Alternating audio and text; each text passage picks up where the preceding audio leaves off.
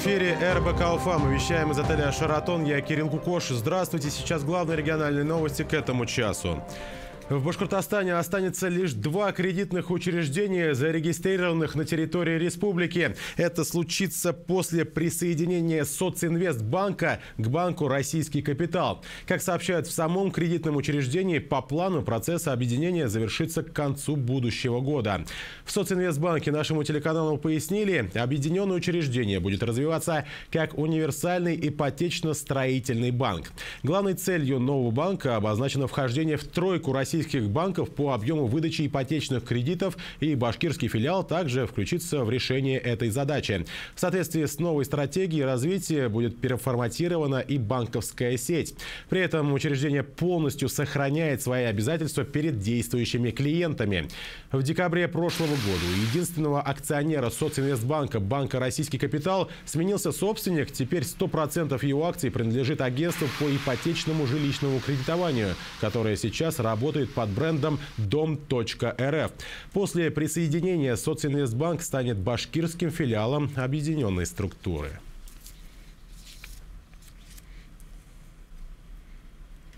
Региональные власти ожидают рост э, производительности труда в Башкортостане по итогам текущего года на 5%. Плановые показатели озвучил глава регионального Кабмина Рустем Марданов на очередном заседании Госсобрания. По итогам прошлого года производительность труда на предприятиях республики выросла на 2% до 760 тысяч рублей. В то же время прибыль предприятий региона выросла на 60%.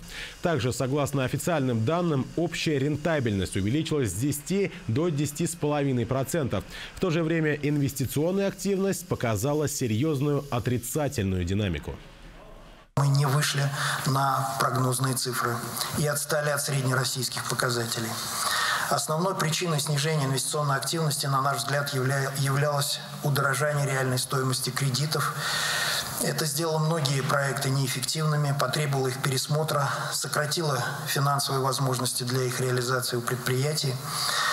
А, в то же время значительные резервы кроются в повышении результативности взаимодействия между государственными органами, предприятиями и муниципалитетами.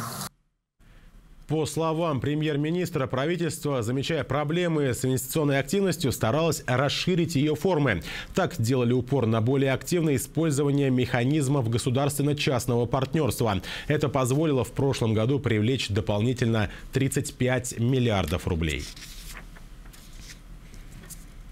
Административный произвол и противоречия федерального и регионального законодательства – одни из основных препятствий на пути развития бизнеса. Об этом заявили представители Центра общественных процедур «Бизнес против коррупции». На очередном заседании правозащитники снова вынесли на обсуждение типичные проблемы предпринимателей. Для примера взяли два конкретных случая. В первом руководителю небольшой компании грозит уголовная ответственность за невыплату зарплату, а около 20 сотрудников рискуют остаться без работы. Во втором, местная администрация не разрешает построить объект, который объективно нужен в районе. Правозащитники уверены, в обоих случаях можно найти компромисс. Здесь э, центр, эксперты встает на позицию все-таки законных интересов предпринимательства с тем, чтобы все-таки они, э, найдя какое-то общее правовое мировое решение, смогли не закрыть предприятие, а развивать предпринимательство, тем более, что никаких ни по первому, ни по второму случаю э, уходов от налога или каких-то недобросовестных действий мы не усматриваем. За год в общественную организацию поступают десятки обращений, и большинство решенных проблем становятся своеобразной пошаговой инструкцией для других представителей бизнес-сообщества. Также на заседание переизбрали исполнительного директора Центра «Бизнес против коррупции». Вместо Рустема Ахмадинурова им стал руководитель региональной рабочей группы ОНФ «Честная и эффективная экономика» Денис Мусин.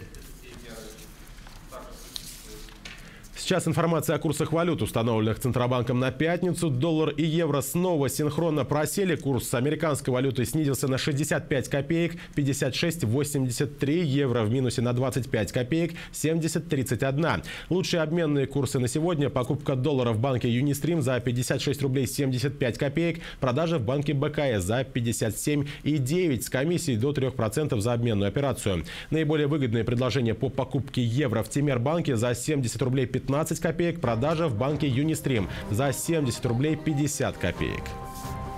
На этом у меня пока все. Оставайтесь с РБК.